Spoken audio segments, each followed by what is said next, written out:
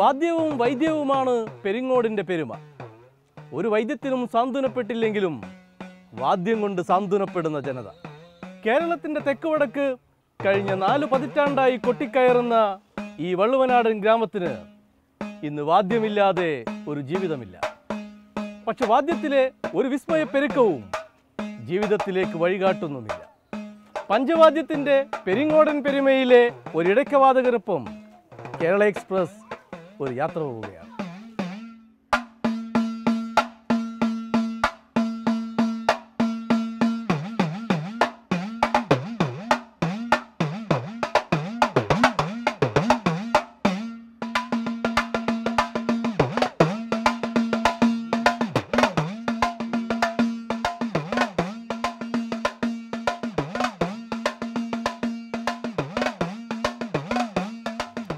പഞ്ചവാദ്യം കൊണ്ട് കേരളത്തിൽ അറിയപ്പെടുന്ന ഗ്രാമമാണ് പെരിങ്ങോട്.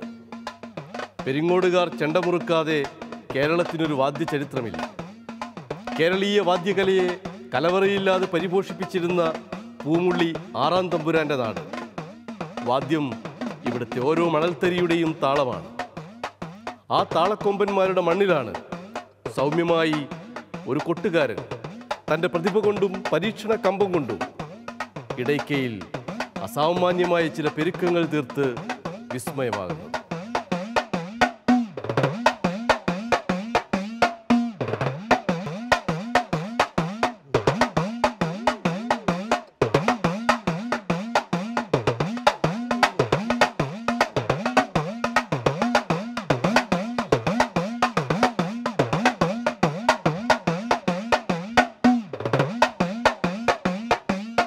മണികണ്ഠൻ പെരിങ്ങോട് എന്ന ഇടയ്ക്കവാദകൻ സ്വന്തം പേര് പറയുമ്പോൾ പെരിങ്ങോട്ടെ അസംഖ്യം വാദ്യക്കാരിൽ ഒരാളെന്നേ നമുക്കാദ്യം തോന്നും.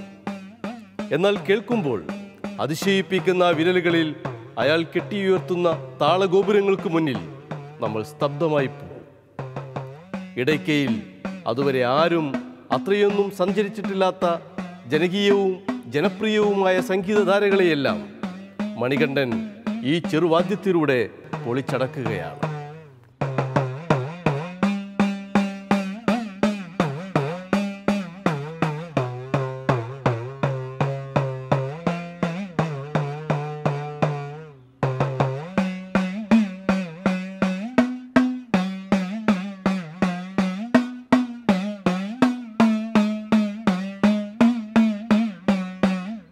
ഈ അപ്പുമാരാരൻ തൃപ്പൂണിത്തറ കൃഷ്ണദാസിന്റെയും കുറേ പാട്ടുകൾ കേട്ട് കേട്ട് കേട്ട് കേട്ട് കേട്ട് കേട്ടിട്ടാണ് ഏകദേശം ഞങ്ങൾ തെച്ചി മന്ദാരും അതേമാതിരി ഈ നാടൻ പാട്ടും ഇതൊക്കെ വായിക്കാൻ തുടങ്ങി. അവർ നാടൻ പാട്ടൊന്നും വായിച്ചില്ല വെച്ചെങ്കിലും നാടൻ പാട്ട് പോലുള്ള കുറേ സാധനങ്ങൾ ഇപ്പോൾ മാനസ സഞ്ചരരേ ഇന്നിപ്പോൾ അപ്പുമാരാരെ വായിച്ചിട്ടുണ്ട്.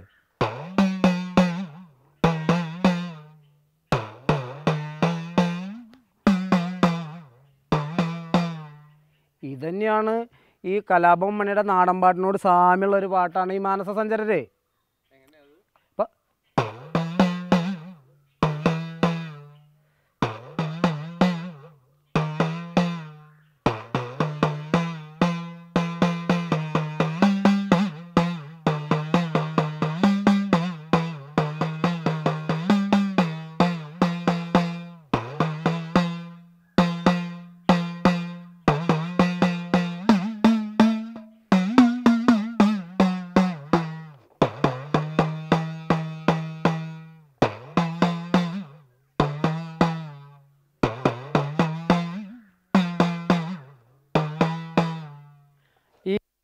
അപ്പുമാരാരുടെ മാനസ സഞ്ചാരരും അതേമാതിരി തൃപ്പൂണി കൃഷ്ണദാസിന്റെ ഹിമഗരി ഹിമഗിരി തലയെ എന്നുള്ള പാട്ടും കേട്ടിട്ടാണ് ഞാൻ ആദ്യമായിട്ട് പാട്ട് വായിക്കണം എന്നുള്ളൊരു ഒരു ഒരു ഒരു ഒരു ജ്വരം കടന്നത്. ഈ രണ്ട് പാട്ടാണ്. അപ്പുമാരാരുടെ മാനസ സഞ്ചാരരും തൃപ്പൂണിത്തറ കൃഷ്ണദാസിന്റെ ഹിമഗിരി തനയേ ഹേ മലതേ ആ പാട്ട് കേട്ടിട്ടില്ലേ? അതാണ്.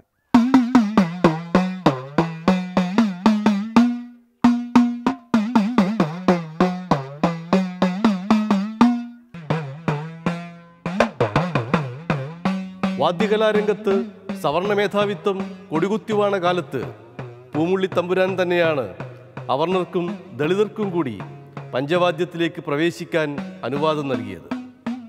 അതൊരു ക്ഷേത്രകലാ പ്രവേശന വിളംബരമായി എവിടെയും രേഖപ്പെടുത്തിയിട്ടൊന്നുമില്ലെങ്കിലും ആ ചരിത്രത്തിന്റെ അവകാശം കൊണ്ട് തന്നെയാകണം മണികണ്ഠനും ഒരു കലാകാരനായത്.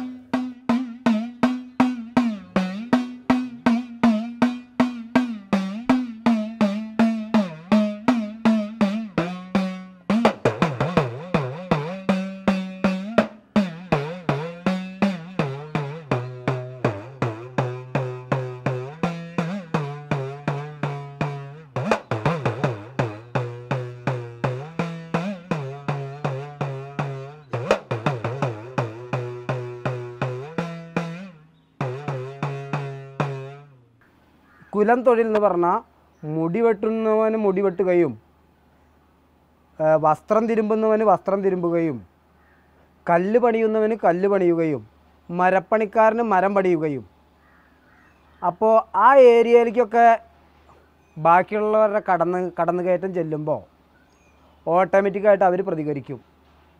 ആ ഒരു പ്രതികരണം ഇപ്പം ഞാൻ ഇടയ്ക്ക് തൂക്കി ചെന്നാലും ഉണ്ടാവും. അത് സ്വാഭാവികം മാത്രം. എനിക്കതിൽ പരാതിയില്ല. എനിക്കത് പരാതിയില്ല എന്ന് പറയാൻ പറയാൻ കാരണം എന്താ വെച്ചാൽ വ്യക്തിപരമായിട്ട് എനിക്ക് ഈ തൊഴിലെടുത്തിട്ട് ഇപ്പോൾ ജീവിക്കാൻ പറ്റുന്നുണ്ട്.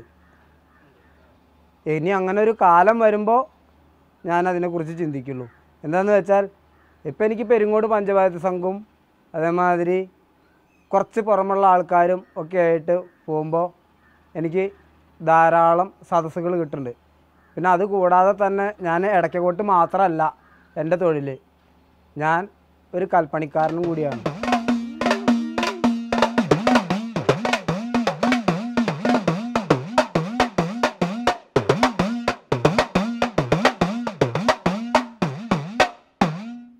വള്ളുവനാട്ടിലെ ഉത്സവപ്പറമ്പുകളിൽ ആരോരുമറിയാതെ ആൾക്കൂട്ടത്തിൽ അലഞ്ഞും അലിഞ്ഞും തീരുന്ന ഒരിടയ്ക്ക ജീവിതമായിരുന്നു മണികണ്ഠൻ പെരിങ്ങോട്.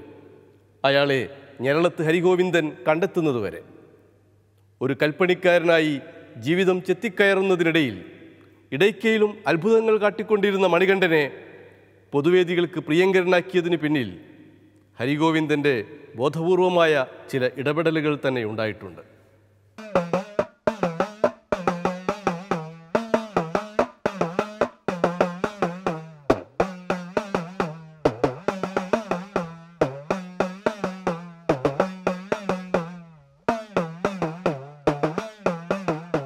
ഇത് മണികണ്ഠൻ പെരിങ്ങോട് ഇടയ്ക്കയിൽ പാട്ട് വായിക്കുന്നതിന് മുമ്പ് ഉം, തൃപ്പൂണിത്തറ കൃഷ്ണദാസേട്ടൻ തുടങ്ങിയ ആളുകൾ വായിക്കുന്നുണ്ടായിരുന്നു. അവരെല്ലാവരും ക്ഷേത്രത്തിനകത്ത് പ്രവേശിച്ച് വാദ്യപ്രയോഗത്തിന് അനുമതിയുള്ള സമുദായത്തിൽ ജനിച്ചവരായതുകൊണ്ട് അവരെന്ത് വായിച്ചാലും അതിന് കയ്യടി കിട്ടുമായിരുന്നു. മാത്രമല്ല അവർ വായിച്ചുകൊണ്ടിരുന്ന സംഗതികൾ നിലവിൽ ഒരു ഭക്തസമൂഹം അംഗീകരിച്ചിട്ടുള്ള കീർത്തനങ്ങൾ മാത്രം വായിക്കാനേ അവർക്ക് ധീരത ഉണ്ടായിരുന്നുള്ളൂ എന്നാൽ മണികണ്ഠൻ പെരിങ്ങോട് ഇടയ്ക്കയിലേക്ക് വരുന്ന കാലം മുതൽക്ക് തന്നെ അവർക്കത് വായിക്കാമെങ്കിൽ എന്തുകൊണ്ട് എനിക്ക് നാടൻ പാട്ട് വായിച്ചുകൂടാ? എന്തുകൊണ്ട് മാപ്പിളപ്പാട്ട് വായിച്ചുകൂടാ? എന്തുകൊണ്ട് ഹിന്ദി പാട്ട് വായിച്ചുകൂടാ? എന്തുകൊണ്ട് വഞ്ചിപ്പാട്ട് വായിച്ചുകൂടാ? എന്തുകൊണ്ട് വന്ദേ മാതരം വായിച്ചുകൂടാ? തുടങ്ങിയിട്ടുള്ള ഒരു ഒരു എന്താ പറയുക അത്രയൊന്നും സ്കൂൾ വിദ്യാഭ്യാസമുള്ള ഒരാൾ പോലല്ല മണികണ്ഠൻ പെരിങ്ങോട്. എന്നിട്ട് പോലും അത്രയും എന്താ പറയുക ചിന്തകളിലേക്ക് അദ്ദേഹത്തിന്റെ ആലോചന സഞ്ചരിക്കുകയും അത് അദ്ദേഹം പ്രയോഗിക്കുകയും ചെയ്തു എന്നുള്ളതാണ് മണികണ്ഠൻ പെരിങ്ങോടിന്റെ ആദ്യത്തെ ഒരു സവിശേഷത. അതിനുള്ള ധീരത ആദ്യമായിട്ട് ഈ പ്രായത്തിൽ കാണിക്കുന്ന മണികണ്ഠൻ പെരിങ്ങോടാണ്. പിന്നെ അദ്ദേഹത്തിന്റെ ജൂനിയേഴ്സ് കുറച്ച് പേര് അത് അനുകരിക്കാൻ മാത്രമാണ് സാധിച്ചിട്ടുള്ളത്. മറ്റൊന്ന് മണികണ്ഠൻ പെരിങ്ങോടിന് സാധാരണ ഇപ്പോൾ കേരളത്തിലെ വാദ്യരംഗത്ത് നടക്കുന്ന ഒരു പ്രധാനപ്പെട്ട പ്രവണത എന്ന് പറയുന്നത് അവനവനെ വലുതാക്കാൻ വേണ്ടി അവനവൻ തന്നെ ഫ്ലക്സ് ബോർഡ് കൊണ്ടുവയ്ക്കുക അവനവന്റെ വീരശൃംഖല സംഘടിപ്പിക്കുക അവനവന്റെ പിറന്നാളാഘോഷം വയ്ക്കുക. അവനവനെ പർവതീകരിക്കാൻ വേണ്ടി സെൽഫ് മാർക്കറ്റിങ്ങിന്റെ വളരെ മോശമായ മേഖലകളിൽ ഗിന്നസ് പ്രകടനം പോലുള്ള അല്പത്തരങ്ങൾ കാണിക്കുക. പക്ഷേ മണികണ്ഠൻ പെരിങ്ങോട് ഈ പറഞ്ഞ സെൽഫ് മാർക്കറ്റിംഗ് എന്ന് പറയുന്ന സംഗതി എന്താണെന്ന് പോലും അറിയാത്ത ഒരാളാണ്. ഒരുപക്ഷെ മണികണ്ഠൻ പെരിങ്ങോടിനെ ഡോക്യുമെന്റ് ചെയ്യുന്ന മണികണ്ഠൻ പെരിങ്ങോടിന്റെ ജീവിതത്തിലെ ആദ്യത്തെ വീഡിയോ ഡോക്യുമെന്റേഷനാണ് കൈരളിയുടെ ഈ കേരള എക്സ്പ്രസ്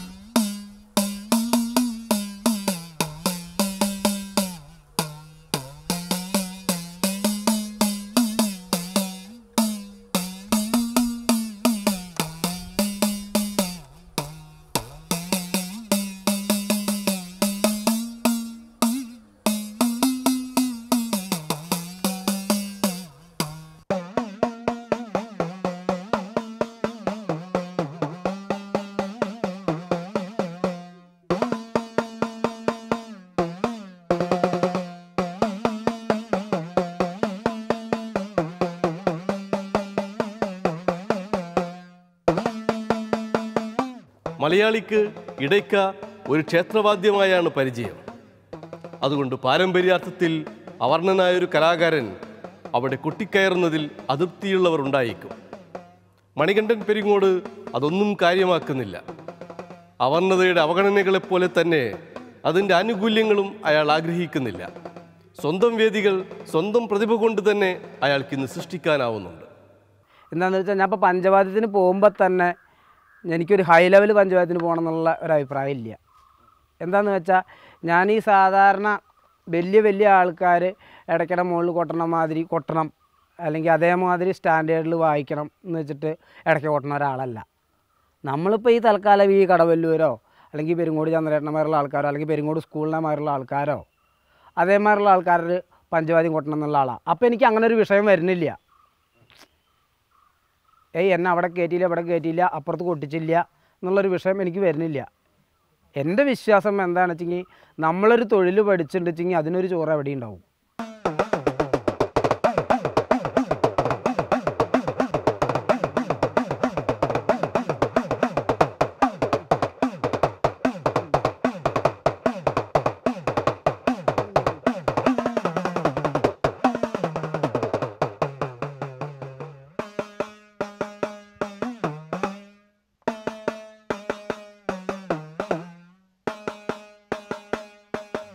മലയാളിയുടെ മഹാഗായകനായിരുന്ന ഞെരളത്ത് രാമപ്പൊതുവാളായിരുന്നു ഇടയ്ക്കയെ ആദ്യമായി പൊതുജനസമക്ഷം അവതരിപ്പിച്ചത്.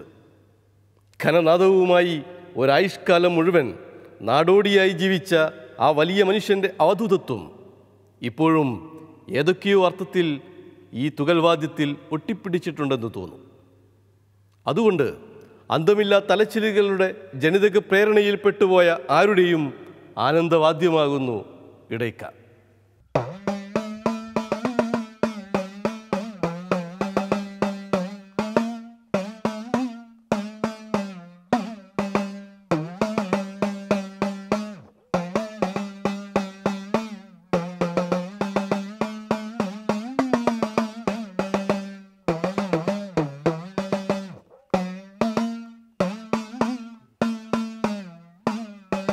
അപ്പോൾ എന്നെ സംബന്ധിച്ച് അദ്ദേഹത്തിനോടുള്ള ഒരു കൗതുകം ഞെരളത്ത് രാമപൊതുവാൾ എന്ന് പറയുന്ന എന്റെ പിതാവ് ഇതുപോലെ ജീവിച്ച ഒരാളാണ്.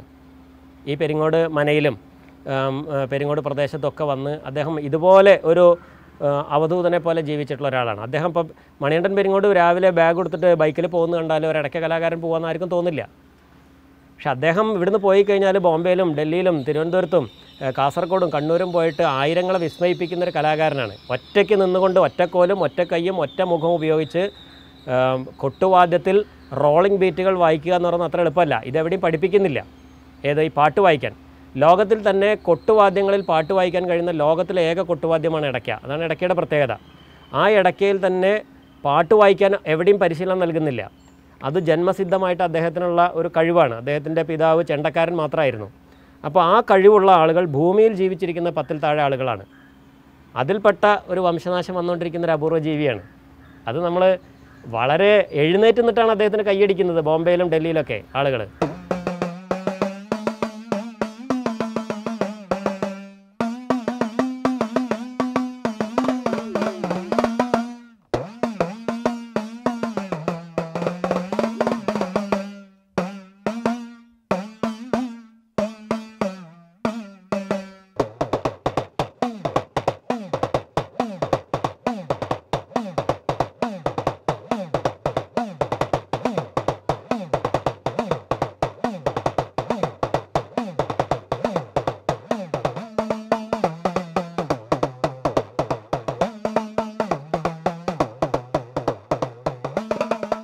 പഞ്ചവാദ്യത്തിലെ വെറും പിന്നണി വാദ്യം എന്നതിനപ്പുറത്ത് ഇടയ്ക്കയുടെ ജനപ്രിയമായ സാധ്യതകളെയെല്ലാം പെരുക്കിയെടുക്കുകയാണ് മണികണ്ഠൻ പെരിങ്ങോട്. ഒറ്റയ്ക്ക് നിൽക്കാൻ പ്രാപ്തിയില്ലായിരുന്ന ഒരു വാദ്യത്തെ ഒറ്റയ്ക്ക് നിൽക്കാൻ ശേഷിയുള്ളതാക്കുകയാണ് അയാൾ. ബാലഭാസ്കർ വയലിനിലും സ്റ്റീഫൻ ദേവസ്യ കീബോർഡിലും കാണിക്കുന്ന കലാവൈഭവങ്ങൾക്ക് തുല്യമാണ്. ഇനി അങ്ങോട്ട് വരും തലമുറയിൽ ഒരു പത്തടക്കക്കാരനെ ഒരുമിച്ച് കിട്ടേണ്ട കാര്യം കഷ്ടമാണ്. എന്താണെന്ന് വെച്ചാൽ അവർ പഠിക്കാൻ വേണ്ടിയിട്ട് മുമ്പോട്ട് വര വരുന്നില്ല അപ്പോൾ അവർക്ക് എന്താണെന്ന് വെച്ചാൽ ഇപ്പോൾ ഈ അത്യാവശ്യ കാര്യങ്ങൾക്ക് ഒന്ന് ഇടയ്ക്ക് പഠിക്കുക എന്നുള്ളൂ പിന്നെ ഇപ്പോൾ ഈ നേരത്തെ പറഞ്ഞ മാതിരി ഇത് ഉപജീവനമായിട്ട് കുറേ ആൾക്കാർ നടക്കുന്നുണ്ട്. അവരിങ്ങനെ പഠിച്ചുകൊണ്ടേയിരിക്കും. അതിന് കുറേശ്ശെ ആൾക്കാർ വരുന്നുണ്ട്. ജനറലായിട്ട് ഇനി ഒരു ഇടയ്ക്കക്കാരന് ഒരു അമ്പത് കിട്ടുക എന്ന് വെച്ചാൽ ഇനി എന്താണെന്ന് വെച്ചാൽ ഇപ്പോൾ ഒരു ഒരു ആന എഴുന്നള്ളിപ്പ് ഇല്ലാത്ത കാരണം ഞങ്ങൾക്ക് കഴിഞ്ഞ കൊല്ലത്തെ സീസൺ ഇല്ല കൊല്ലം. ഒരാനയുടെ എഴുന്നള്ളിപ്പ് കാരണം. എന്താ കാരണം? ആനേനെ കൊണ്ടുവന്നിട്ടുണ്ടെങ്കിൽ മറ്റത് ആനയുടെ ഉടമസ്ഥൻ നോക്കിക്കോളും. ഇപ്പം ആനയുടെ ഉടമസ്ഥന് യാതൊരുവിധ പ്രശ്നമില്ല ഇപ്പോൾ കമ്മിറ്റിക്കാർ നോക്കണം. ഇപ്പോൾ കമ്മിറ്റിക്കാരുണ്ട്. അപ്പോൾ ആനേനെ ഏക്കെടുക്കണു ആനേനെ വിളിക്കുക കമ്മിറ്റിക്കാർ അപ്പോൾ അങ്ങനെ പത്ത് സ്ഥലത്ത് ആന ഇല്ല വെച്ചെങ്കിൽ അത് ഇന്ന് നമുക്ക് ആന ഇല്ല കേട്ടോ നമുക്ക് അപ്പോൾ പിന്നെ പിന്നെ പഞ്ചവാദ്യം വേണ്ട. നമുക്ക് വേറൊരു പരിപാടി നോക്കാം. അപ്പോൾ ആ പത്ത് പൂരത്തിന് പത്ത് പഞ്ചവാദ്യക്കാർ വീട്ടിലിരുന്നു. അപ്പോൾ ഈ വീട്ടിലിരിക്കുന്നത് അപ്പുറത്തും കാണാം അപ്പോൾ ഇതിന് ഓട്ടോമാറ്റിക്കായിട്ട് പഠിക്കാനും ആളുണ്ടാവില്ല. അതാണ് ഇപ്പോഴത്തെ അവസ്ഥ. ഈ മരുന്ന് പണി നിർത്തിയ മാതിരി തന്നെ ഇനിയിപ്പോൾ ഏകദേശം ആനയും നിൽക്കും ആനി നിന്നാൽ കൊട്ട് പഠിക്കാനും ആളുണ്ടാവില്ല. ഇപ്പോൾ ഇവിടെ ഞങ്ങളുടെ അടുത്ത് കുന്നംകുളം എന്ന് പറഞ്ഞൊരു സ്ഥലമുണ്ട് കുന്നംകുളം. അവിടെ പാർക്കാടി പൂരമുണ്ട്. ആ പാർക്കാടി പൂരത്തിന് പത്ത് ഇരുപത്തിരണ്ട് സെറ്റ് പഞ്ചവാദി ഉണ്ടാവേണ്ടതാ. ആകെ രണ്ട് സെറ്റ് പഞ്ചവാദി ഉണ്ടായത്.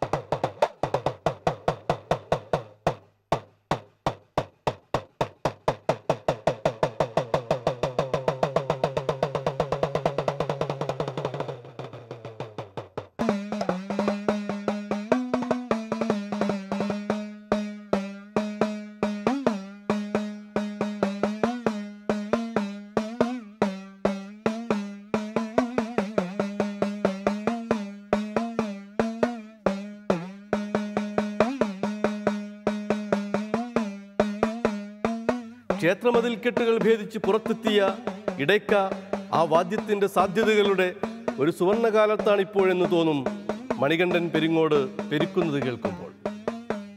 കൊട്ടുന്ന സ്ഥലമെല്ലാം തനിക്ക് ക്ഷേത്രം തന്നെയെന്ന് മുമ്പ് ജനളത്ത് രാമപൊതുവാൾ പറഞ്ഞതുപോലെ കൊട്ടുന്ന വേദികളെയെല്ലാം പൊതുജനവേദികളായി മനസ്സിൽ കാണാൻ മണികണ്ഠനും കഴിയുന്നുണ്ടാകണം. അതിന്റെ ജനകീയത ആ കൊട്ടിനുണ്ട്.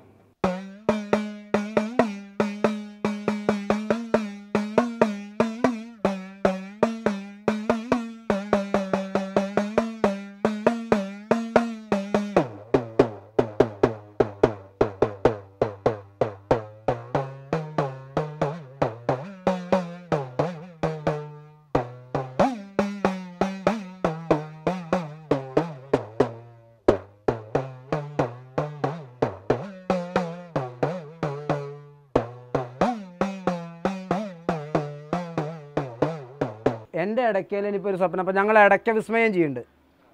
ഇടയ്ക്ക വിസ്മയം ചെയ്യുന്നുണ്ട്. ഈ ഇടയ്ക്ക വിസ്മയം ചെയ്യുന്ന പോലെ ഇപ്പോൾ ഈ മേളമൊക്കെ കണ്ടിട്ടില്ലേ? എലഞ്ഞിത്തറ മേളം പാണ്ടി മേളം പഞ്ചാരി മേളം എന്നൊക്കെ പറഞ്ഞിട്ട്. അതേമാതിരി ഒരു ഒരു പത്തമ്പത് ഇടയ്ക്ക വെച്ചിട്ട് എനിക്ക് മേളം ചെയ്യണം എന്നൊരാഗ്രഹമുണ്ട് അത് ഇതേമാതിരിയല്ല പല ശബ്ദത്തിലല്ല ഒരേ ശ്രുതി വെച്ചിട്ട്.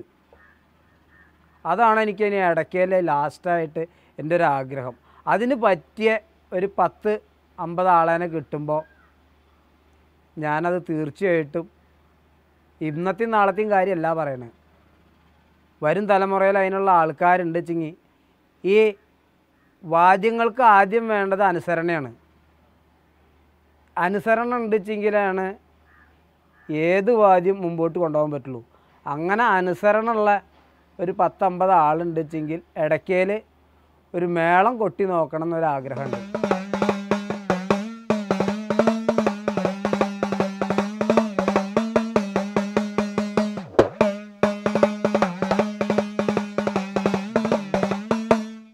ചുരുക്കി പറഞ്ഞാൽ ഒരു ക്ഷേത്രവാദ്യത്തിൽ മാപ്പിളപ്പാട്ടും ഹിന്ദിപ്പാട്ടും കൊട്ടുന്നത് മതനിരപേക്ഷത മർമ്മപ്രധാനമാകുന്ന ഒരു കാലത്ത് വലിയൊരു സാംസ്കാരിക മുഴക്കമാകേണ്ടുന്നതാണ്. മണികണ്ഠന് കൊട്ടിത്തീർക്കാനുള്ള കാലങ്ങൾ ഇനിയും വരാനിരിക്കുന്നതേയുള്ളൂ എന്നതുകൊണ്ട് നമുക്ക് കാത്തിരിക്കാം.